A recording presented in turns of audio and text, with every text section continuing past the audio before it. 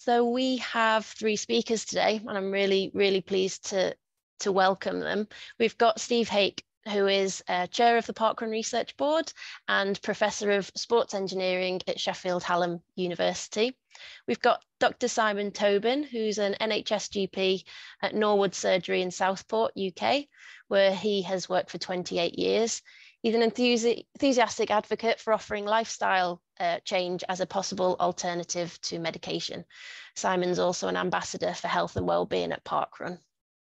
And finally, Sean Smith is a park runner from Southport and retired early from his role as an IT accessibility specialist following a cardiac arrest in 2016 as part of his treatment, um, his GP, Dr. Simon Tobin, suggested he tried parkrun. And I'm going to leave it there because I don't want to give any spoilers um, for that. So yeah, over to Steve, who's going to do his um, presentation. Over to you. Hi, my name's Steve Haake. Um, this is the Advanced Wellbeing Research Centre where the uh, Parkrun Research Board uh, is based. Um, I'm going to move on to this slide. This is a healthier, happy planet. So that's the mantra of Parkrun.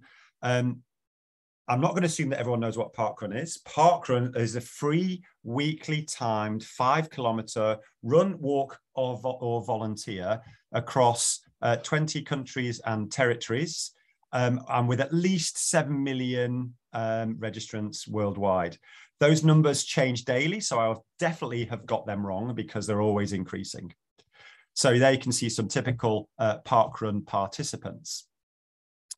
So, what do we know um, about uh, park park runners, and what do we know about park in the UK? So, we've done quite a lot of research um, over the last few years to find out these uh, the answer to that question. So, um, here is one uh, particular um, uh, paper that we had, Parkrun, the promotion of physical activity, insights for primary care clinicians from an online survey, and that's in the British Journal of General, General Practice. It's freely available, uh, and we'll be sending the links round.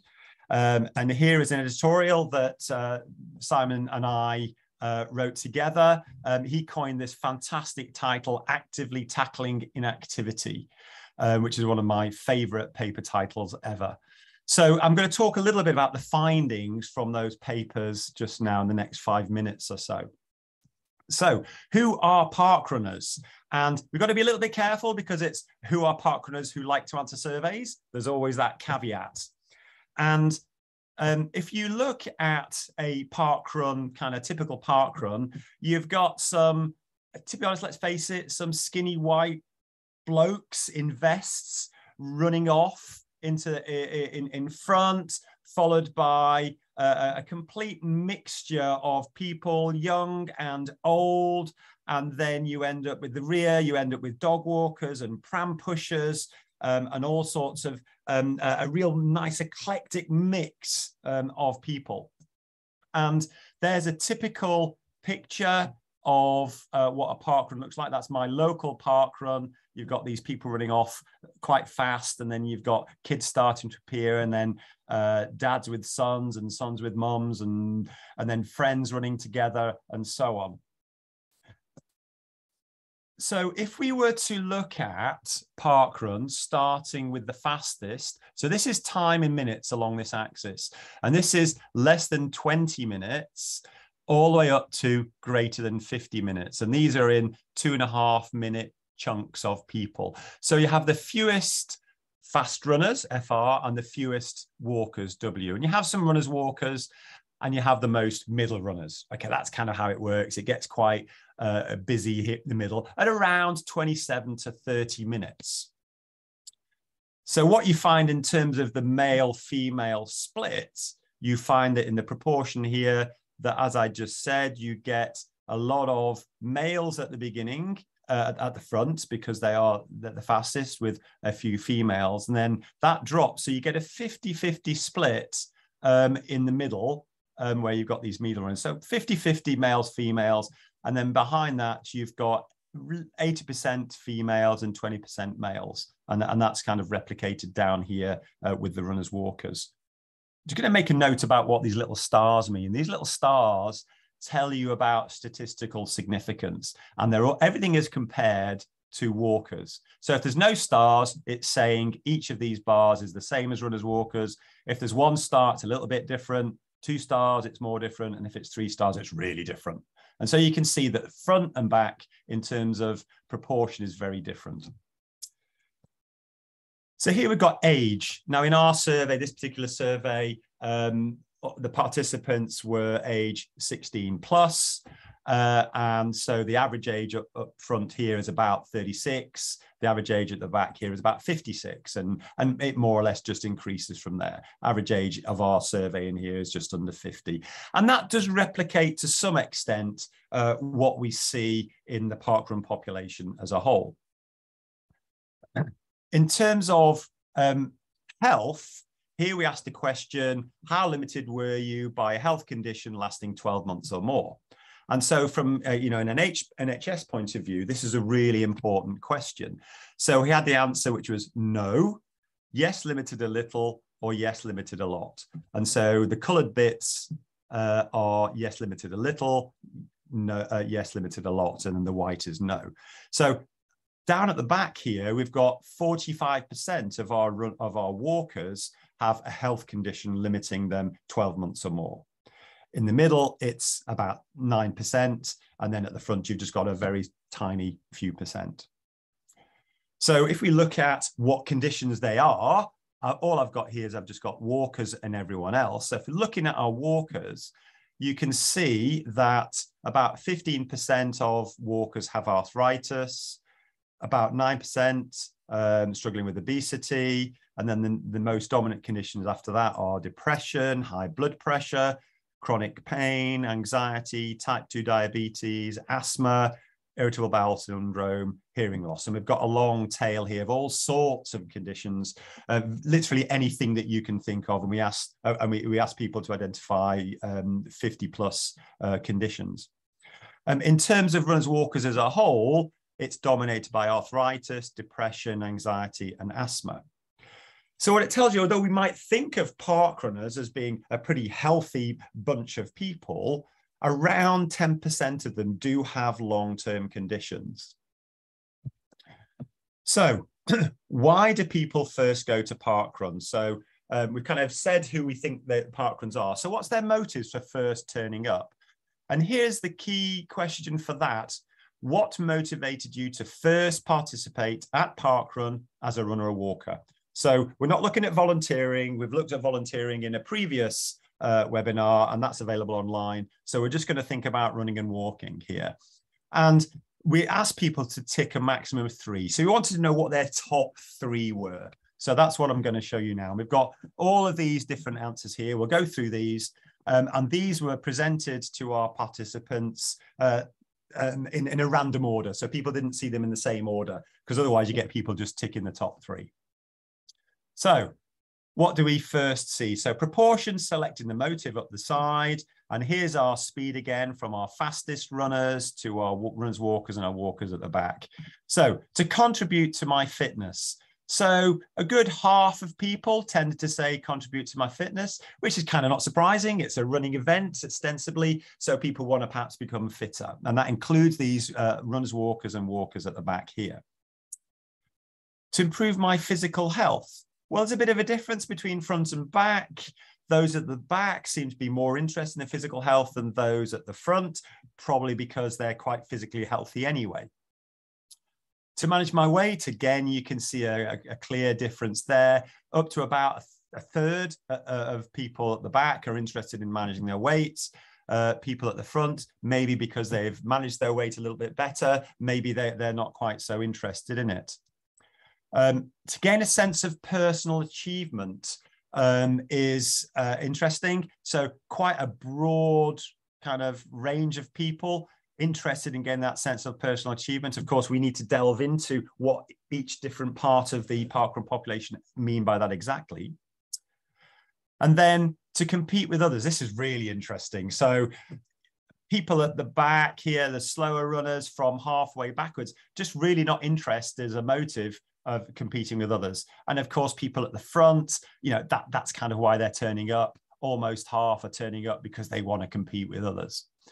And that's the same kind of pattern that you see training for another event. perhaps a few more at the back who are thinking about other events and they've turned up to parkrun for train to train for those. And then to getting actually just getting a time for a 5k can i run a 5k can i get a time for it? And so you get that same distribution. Those at the front really interested. A few of those at the back are interested in that. Um, encouragement. My friends family colleagues encouraged me to. Not so many. It wasn't a high the highest priority. I must admit i expected this to be a little bit higher but up to about what you know 20% of people at the back from the halfway backwards um, interested uh, because people encourage them to turn up. Um, to improve my mental health people tended not to put this down as a motive to feel part of a community. Interesting. I thought people might be more interested in this but they've not put that down as, a, as one of their top three motives and uh, to spend time outdoors walkers have that bit more as a priority, spending time outdoors. And that possibly reflects the demographic, the places that, that walkers tend to live. Uh, to improve my happiness, very few people put that down as a motive. Uh, and Couch to 5K as a motive. Now, that's, that's interesting that Couch to 5K, if you know the scheme, Couch a 5K, it's about um, going from nothing to, fight, to be able to run a 5K and you go through kind of a walking, running, walking to running. And so that naturally points towards this group here, just ahead of those runners walkers. And you get most of them appearing in about the 37 and a half to 42 and a half um, uh, categories there. So that's couch to 5K. Uh, to improve or manage my health condition, not so many partly because you know only 10% had a long-term health condition.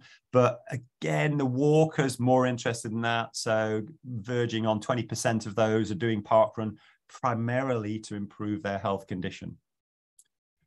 Uh, to spend time with friends interesting. Not many people put that down as a motive. Or to spend time with family. And uh, to be active in a safe environment we thought might be more important, but more important for those at the back if there was any difference. Uh, to meet new people, again, not, not that important. I thought it would be more important as a motive. Um, a healthcare professional advised me to. I'm just going to go backwards. If you look at the slides here up the side, the, the proportions here, it goes from 70 down to 7%. So the scales drop by a tenth. So very few people put that their healthcare professional advise them to. Um, and we can discuss that perhaps a little bit later, why that might have been. And then a charity, very few people put it down to raise money for charity. Although, you know, 1% of people, uh, 1% of 7 million people is quite a lot of people. so you've done a park run, you're motivated to turn up. What is the impact of actually doing that park run? You've queued up, you've gone to the cafe, you've got your cup of coffee uh, and your bun, which I have to admit I do after every park run. So this was the next question, the impact of running or walking at park run. Thinking about the impact of parkrun on your health and well-being, to what extent has running or walking parkrun changed? And we've got some similar things to the motives. And then we've got these possible responses. So no impact. It didn't affect me at all running at parkrun didn't affect this thing. Better or much better. Now, I have to say, most people put either no impact, better or much better. And in terms of much worse or worse, minuscule numbers put down, put those down. So um, I've lumped together worse, worse much worse, and in, into no impact because you can't see them on the graphs I'm going to show you. But they do, they do exist, but they're very tiny.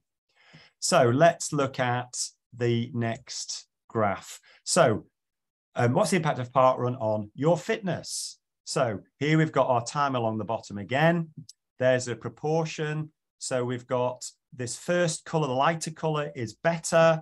The darker color is much better. And then the white color there is no impact, worse and much worse.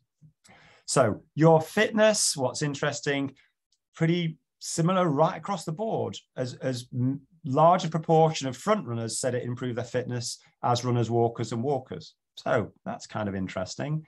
Your sense of personal achievement. If I just kind of toggle backwards and forwards, you can see how the top varies. You get more people in this slightly slower range having more of a sense of personal achievement being improved much better. And then your physical health, again, pretty similar across the board, 70, 80 to 80%. Your happiness. Now, remember, very few people put down your happiness. And here we've got 70 to 80% saying that their happiness had been improved. Your mental health, again, not many people put this down as a motive, but more than 60%, 67% said that their mental health had improved. Your enjoyment of competing, Right, remember, this is one that was just kind of exponential drop off from front to back. Very few of people at the back said that they wanted to do park run for the com competition part of it. And yet, half of them saying, do you know what? I quite enjoyed the competing. Now, who are they competing against? It's very clear that they're not competing against the front runners. They're probably competing against their peers, competing against themselves. And again, that's a future research question to delve into. But quite quite interesting that it, engenders that kind of impact. The amount of time you spend outdoors, well, not unsurprisingly, people spend more time outdoors because park run is more, more outdoors, perhaps more of those slower runners. Um, how much you feel part of community, same all the way across. 70% more or less all the way across felt more part of community regardless of who you are. Your ability to be active in a safe environment, similar for this whole rear group here. About 70% say they feel more, uh, say in it, their, um, their ability to be active in a safe environment is better. Um, remind, remember, this rear portion is dominated by, uh, by women as well. So that there's probably an element of that in there.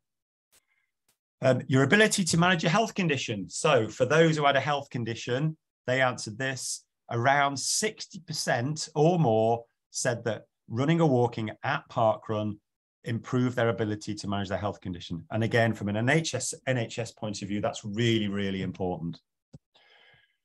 Number of people you meet, people didn't put that down as a motive, and yet around 60% um, um, have that improved as, uh, as an impact. Their confidence is improved about 60% across the board. And uh, lifestyle choices, interestingly, about at least half have found that their lifestyle choices are improved, diet and smoking. So it's not just about physical activity, it's about these other choices that people have. And their ability to control the weight, similar to our motive, people at the front were less interested in the back, but a large proportion, about half, are saying that um, um, participating in parkrun has improved their ability to control uh, their weight. And then the amount of time you spend with friends, similar across the board, about 40%. Time spent with family, less so, about 30%. Um, and and we, we, we leave it there. So what have we learned about our park runs there? So park runners are not all the same. They are very different from front to back. But yet, wherever you happen to run your running time, there are people around you like you and and actually i should say the way i've written that people around like you. You find if you do park run that people you get to know those people and they do tend to like you because they're like you if that makes sense. Um, motives are very personal. So motives are very personal to people but there are broad things that we're seeing from front to back broad changes differences between the motives people at front the middle and the back. And we can kind of isolate any part of that population to see what they are. At the back, 45% of walkers have a long-term health condition. And these are dominated by arthritis, obesity, depression, anxiety, uh, and asthma. About 60% of those with these long-term health conditions improve the management of their condition. And importantly, the impacts are largely the same for all park runners, regardless of who you are, making it a really wide range um, uh, engagement across the population. So um, I'll finish there. I've talked about adults today, of course. Uh, there is Parkrun Junior um, for young people as well. And I'll let my parkrunners leave and I will stop talking. Um, so if I stop sharing, I will now pass over to my friend and colleague, Simon Tobin.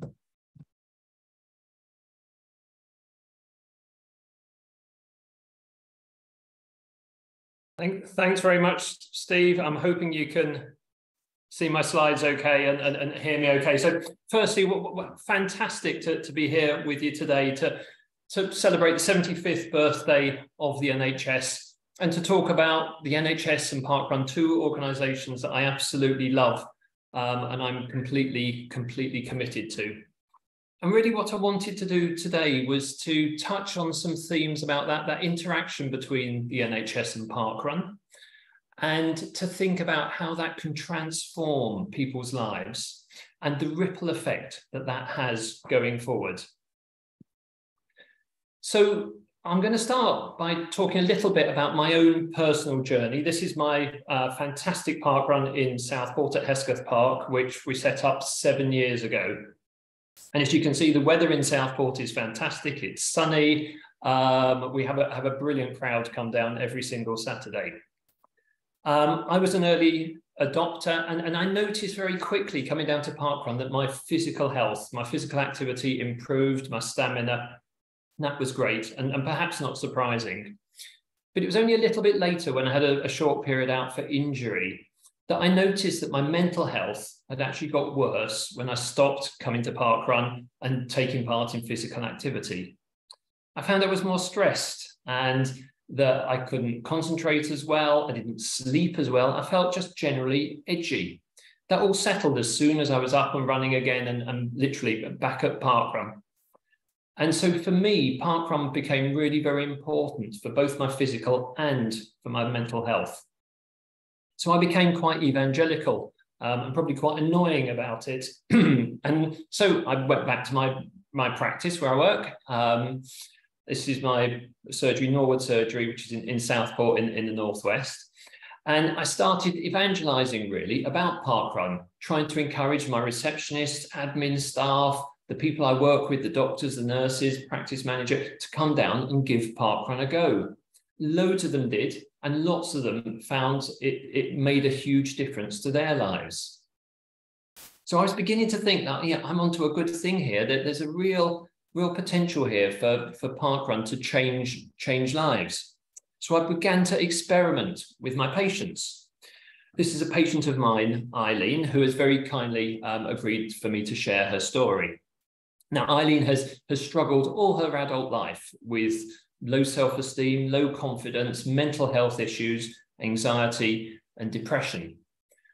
But when I invited her down to Parkrun as part of a, a consultation, um, that changed her life. Her physical fitness improved, her mental health improved, her confidence improved, so much so that she felt she could take on the Great North Run in her home city of, of Newcastle. And that was, that was a, a, a huge thing for her. But not only that, there was a kind of a ripple effect that, like me, she became an evangelist for Parkrun and, and sort of shouting from the rooftops about what, what Parkrun could do. So more recently, Eileen has started bringing down her nephew, Tom, who has a severe physical disability um, and learning disabilities, and he's unable to walk more than about 10 meters unaided. But what Tom loves is he loves singing and he loves dancing and he loves being part of a crowd. So he comes down on a Saturday, we have him managing the funnel, we put the music on, blare it out through loudspeakers, and we're all singing and we're dancing and just, just having a great time. So that kind of ripple effect is just moving outwards that, you know that started with Eileen and is, is just you know just affecting and impacting other people. This is the amazing Kelly Barton, who some of you may have heard about before, a patient of mine for nearly 30 years. Kelly was born blind and educated at St Vincent's Blind School in Liverpool, one of four in the, in the UK. And I'd, I just finished my training to become a, a guide runner. And Kelly said to me in a consultation that she was struggling with group exercise, that all the group physical activity sort of things she got involved with were worried about her falling over or bumping into stuff. They felt it was a bit of a risk. Um, so I invited her down to, to Park Run. Um, and for the first time ever, she ran outdoors and absolutely loved it. Now, to cut a long story short, you know, she's really got the bug. Kelly is closing in on 250 park runs, which is, is absolutely amazing.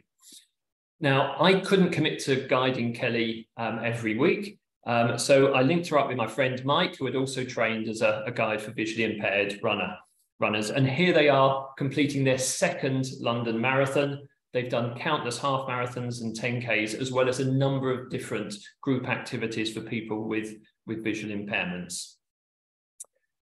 Now, Kelly, not just physically, has, has sort of grown and, and become substantially fitter as a result of parkrun, but she's seen herself and be, uh, as more as a bit of a trailblazer now, talking about what's available for people with visual activities. I was watching the news last week. She popped up on BBC National Telly. And increasingly, she's becoming recognized as somebody who's making a really important contribution to access to physical activity for people with visual impairments. And again, we've got those ripples beginning to just spread outwards and impact on, on other people. But it's not just your physical activity, your physical health, it improves mental health, you know, with parkrun. This again is Kelly with Mike. This was taken two weeks ago when they completed the Southport half marathon. And um, they announced at that point that they're getting married in October. I take most of the credit for getting them together. Um, but it's not just your physical uh, mental health, it's your love life as well that um, Parkrun can, can do wonders for. Lastly, I want to talk to you about my friend Zana, who's here on the left. Zana, a fantastic, fantastic woman. She was born in the UK, grew up in Nigeria, and then came back to the Northeast to do her medical training, where she trained as a doctor. She got her first consultant post in Southport and moved over, moved to Southport some, some years ago. But Zana's really, really quiet. Um, she's shy. She doesn't make friends, friends easily. And uh, you know, it was when a friend at work invited her down to parkrun that things really changed. She came down, she loved you know, running at parkrun, but more importantly for her was the volunteering and it got her to meet new people, make friends. And, and Zana now has a thriving social life with people she meets up with during the week, at weekends for coffee and, and, and doing stuff together. And that wouldn't have happened if she hadn't been invited down to, to Parkrun that day. But who invited Zana? Well, it was Eileen, who I talked about earlier. So Eileen and Zana work together and, and so again, it, it just seems to me that we're perhaps underappreciate this potential of parkrun to transform lives and to work like have a ripple effect that just sort of radiates outwards. Now, I used to think that Southport Parkrun was magical. There was something special that we were doing at Southport Parkrun. But it turns out that when I when I talk to other people across the country, that Southport Parkrun isn't special that amazing magical transformations like this are happening at park runs all across the UK and across the world. And so it, I began to talk to other GPs. I talked to the amazing um, Ollie Hart in Sheffield and the brilliant um, Abby Brooks in York about what I was doing. And it turned out they were doing the same thing. Uh, and this was happening in patches all across the country. Now, as a result of that, we decided that wouldn't it be brilliant if we could do something on a national footprint to link up parkrun with primary care and, and general practice in particular? So five years ago, headed and led by the astonishing Chrissie Wellington, um, we launched the Parkrun Practice Initiative, which was really a link up between Parkrun and the Royal College of GPs. And the idea was to just have a free way of connecting GP practices with their local park runs to encourage promoting park run and physical activity for their staff and for their patients alike. So we've been going now for, for five years and the, the impact has been astonishing. We've, we've had loads of research, which Steve and Helen have been involved with and, and other organizations too. We've published loads about it when we set off, I was hoping for maybe 10, 20 practices across the UK, but nearly 1800, that's over 20% of GP practices are now linked to their local park run. That's, that's astonishing and, and far exceeded anything I could possibly, possibly have imagined. It's been so effective that it's been rolled out in Australia and across the Republic of Ireland as well. So it's really, really making a difference to loads of people's lives. So for me, the, the link up between the NHS and Parkrun is really important for its ability to transform um, people's lives and that ripple effect that perhaps we, we underappreciate that it might have on other people. So I'm going to stop sharing my, my screen here. And what I'd like to, to do is introduce um, a patient of mine, Sean Smith, who's very kindly come along to speak to us today. You've heard enough about me telling other people's stories for them. So it's fantastic that Sean Sean's kind enough to, to tell his own story. So Sean, welcome. Thank you so Thank much you. for um, agreeing to come on. If I can just set the scene, you're, you're 62 now, and seven years ago, you, you had an unexpected heart attack that came completely out of the blue. So perhaps could you tell us how things were prior to that in your life and, and where you were up to? Yeah, uh, thanks, Simon. P- pleasure to be here. Um, so uh, I, I, worked in government IT. Um, I was not like, unlike many people in the country, I was working 45, 50 hours a week, another 10 hours of traveling, pretty intense job. Between that and the family, other things, I didn't really get a lot of time for exercise. I did try a bit of swimming, that type of thing. Uh, but in hindsight, uh, pretty unfit, really. And as you say, you know, perhaps not surprisingly, um, I had a cardiac arrest uh, completely out of the blue, no warning signs, uh, and that was it. I was laid low. Oh, okay. So that was seven years ago. Seven years ago. And tell me, uh, you know, about how that affected your life. You know, firstly, physically, how how did you find oh. things? Uh, uh, it, it, completely changed my life, of course. Um, I had to retire uh, on health grounds. So, um, uh, and measures of that. Um, when I, for example, the first time I came into the surgery, I couldn't face the stairs. I couldn't use the stairs. I had to get the lift. I couldn't walk anywhere. Uh, when um, my one of my early challenges was that my wife drove me to uh, the park run, Hesketh Park. My challenge was simply to get out of the car, walk through the gates and find a park bench, sit down, and then that was it, and then walk back. That was the limit of my ability.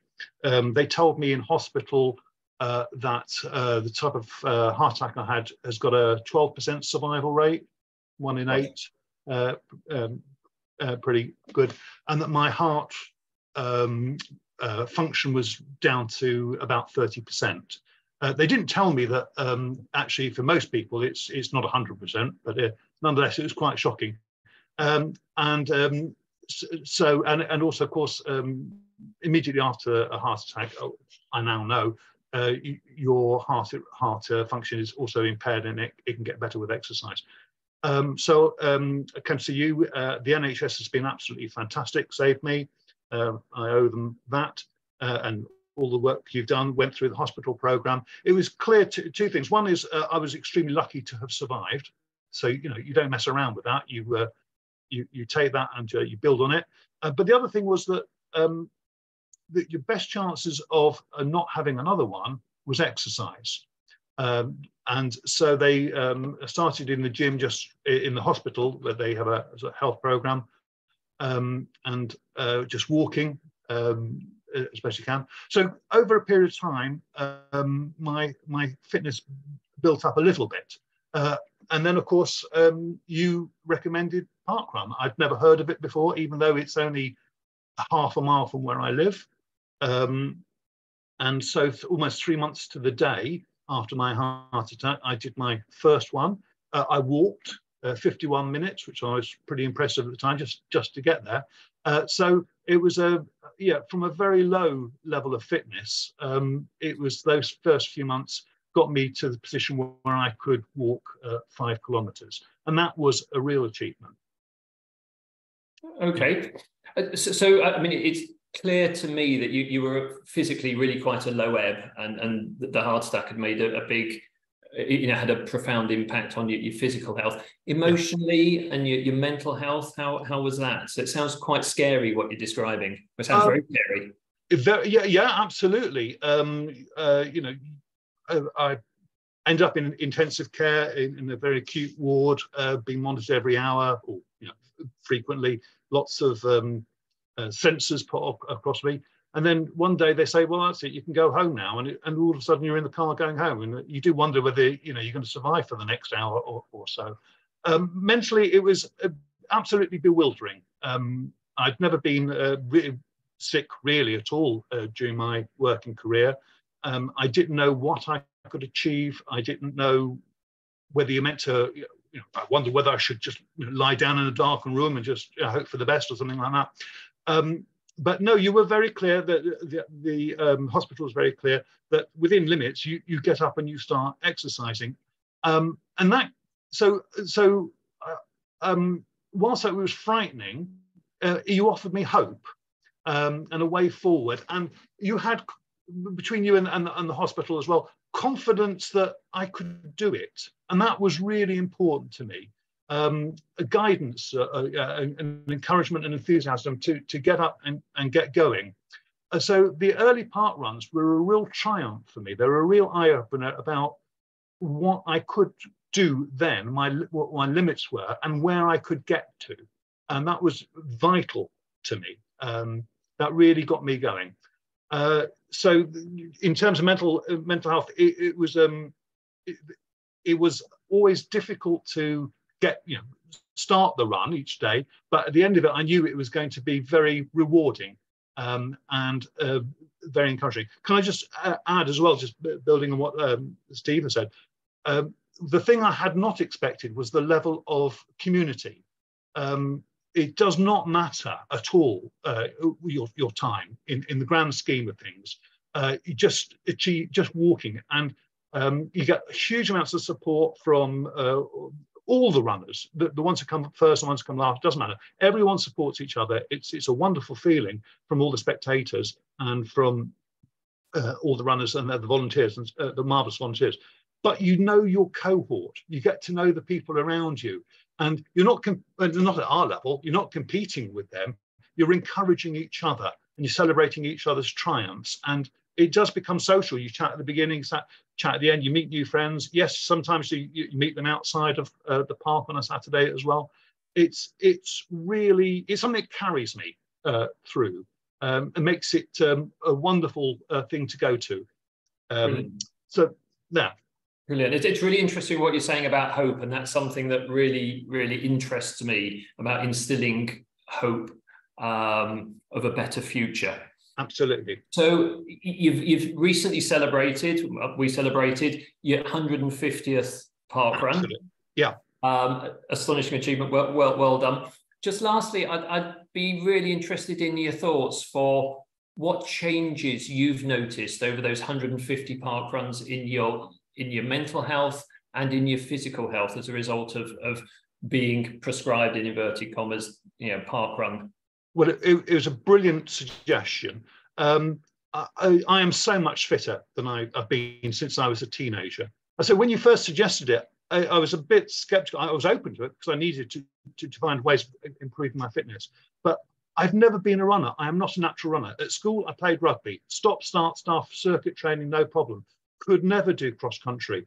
The first time I ran parkrun without stopping was an absolute triumph, you know, regardless of the cardiac uh, arrest. So it has made a huge difference to me. Um, um, I, I, go to the gym, I swim, uh, but the park run is always the pinnacle of the week. It's it's my measure uh, of how well I'm doing, and that keeps me going. It, it's also given me confidence, a different sort of confidence, which is that you, you I can't, well, I can't speak for everyone, but myself, I can't be good all the time, going to the gym and eating well, you know, family celebrations, holidays, whatever. But I know now after 150 that it doesn't matter. I can get back to where I was. And so it, it has been an absolute uh, essential factor for me in my, um, in my running. I could say, look, I am an unlikely runner. And it's been wonderful being, and if I can do it, I'm sure uh, it could be of, of value to an, a whole range of people. So I'm eternally grateful. It's an idea which uh, uh, uh, is the right idea at the right time. It's it's wonderful. So I would thoroughly recommend it, and it has been fantastic for me. Brilliant, Sean. Thank you so much for, for sharing your sharing your story. It's really moving for me to hear to hear you you recount it and you tell it. It's so much more powerful coming from from your mouth than it can ever be coming from um, uh, from mine. So, so thank you, thank you so much. For me, and you know, I'm grateful for all you've done as well. Thanks. So thank you very much.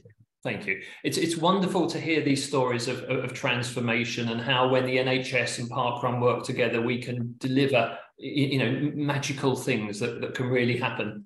So for any of you out there who are interested in the Parkrun Practice Initiative, if you just Google that, um, or we'll put it we'll put it in the links for this this presentation. Just click on it. It's free. It's simple, and and we'd love more and more practices to sign up and to link with their their local park run. But I'm going to hand you back to to Helen now um, if we've got time for, for any questions. Thank you. Uh, yeah, thank you so much, uh, Simon, and to Sean for for sharing your story. We um, we have got lots of questions, and I think I will ask ask those questions. Um, obviously, if anyone needs to leave, as we did say, it would would finish at twelve forty five. Then please do so. Uh, the recording will be available afterwards. Um, so I will. I've got a couple of questions for Steve first, based on your presentation. Um, so David Irwin was wanting to know a little bit more about do we know anything about change over time in the motives and impact? So based on the graphs that you were sharing, have we got any insights into how those motives and impacts are have changed? Oh, that is such a good question. And the answer is no, we don't. Um, no, because we go, we ask the question, what first um, motivated you to participate? And then we ask later, so what? Um, we, we have done a small longitudinal study. Um, I noticed that Brian Keenan is here on the uh, on on the webinar, and I think I saw one of his uh, chat responses is that his PhD he's looking precisely at that, trying to delve deeper into how do people transition from those initial motives and how do their thoughts change? A bit like you know what what sean has just said you know the unlikely runner you know not perceiving yourself as that kind of person then going oh my god i appear to be running. Oh my god you know but it's the the motive might have been fitness and health but it turns out that actually it's that encouragement and that community spirit of the people around you that keeps you going. So I'm sorry, the answer is no, but I'm hoping that the PhDs, particularly Brian's, for instance, uh, will answer that question.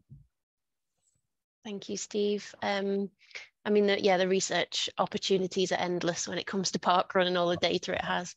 Um, David also wanted to know, um, has park has the encouragement of park walking changed any of these? Um, yeah, we haven't we haven't specifically asked um, Park Walkers since Park Walk has uh, appeared, um, which happened in, I can't remember when it happened. It's the last kind of 18 months, really, isn't it? I think, um, post pandemic. So um, it will have had an impact. And I noticed you said in the, in the chat that in terms of parkrun times, parkrun times have been decreasing year on year because the demographic of parkruns has changed from a free weekly timed uh, kind of time trial, which was its early uh, inception, um, you know, 15 years ago, to today, where it is more of like a community event. And I think what we find in terms of all the studies that we get in terms of the social com component and social capital, parkrun, you kind of conceive as parkrun as a community event that happens to have a five kilometer thing right in the middle of it.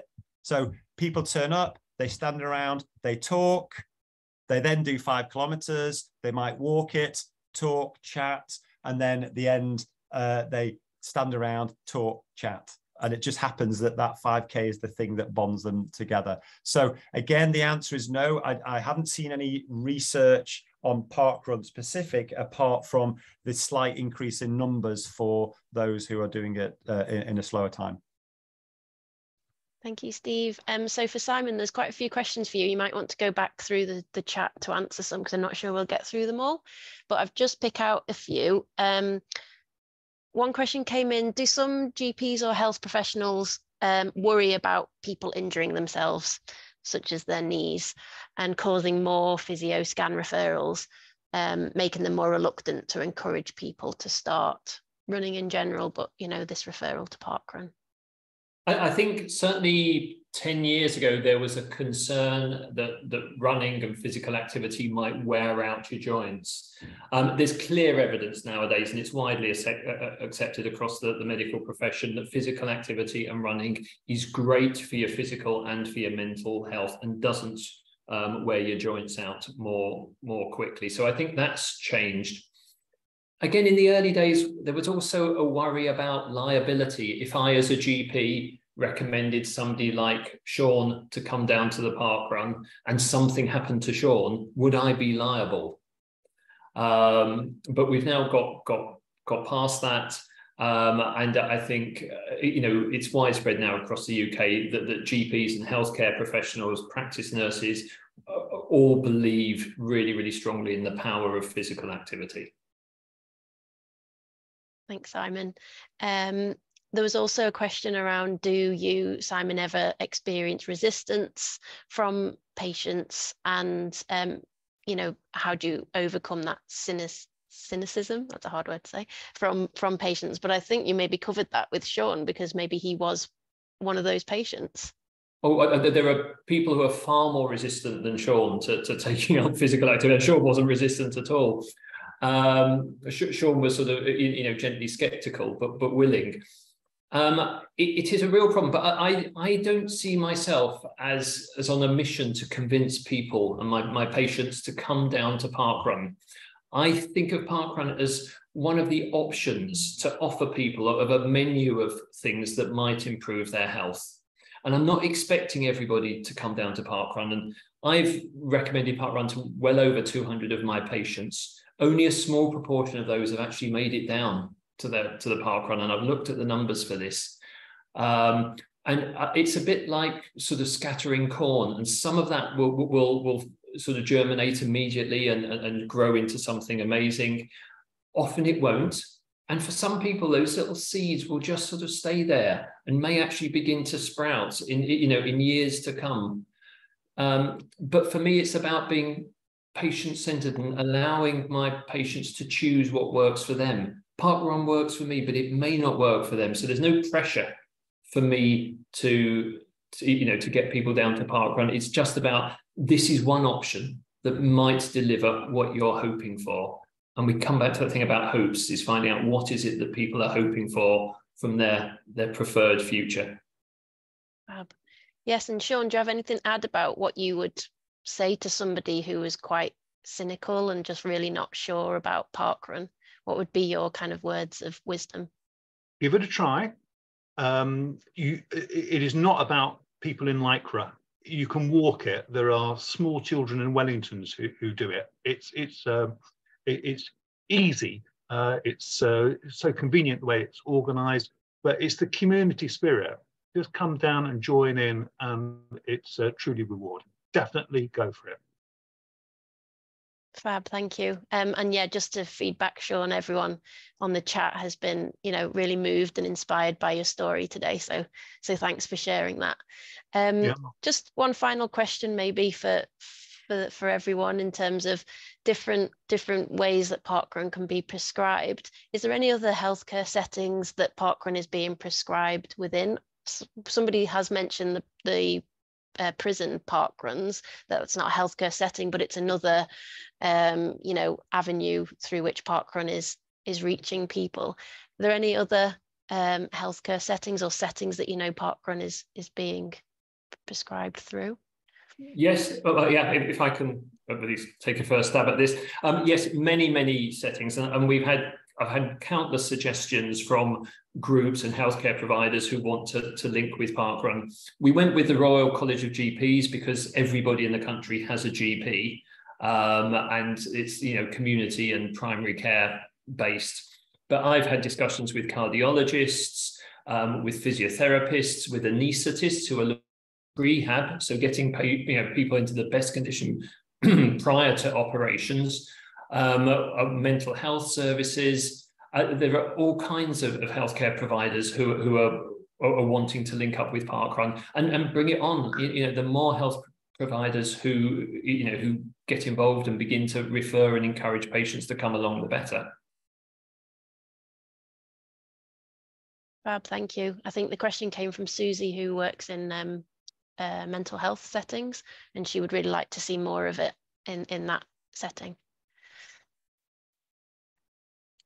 Um, okay, so in the interest of time, I think I might um, wrap wrap things up. There are other other questions in the chat that we sadly haven't had time to, to cover, but um, we will save the chat and can and can reflect on those questions.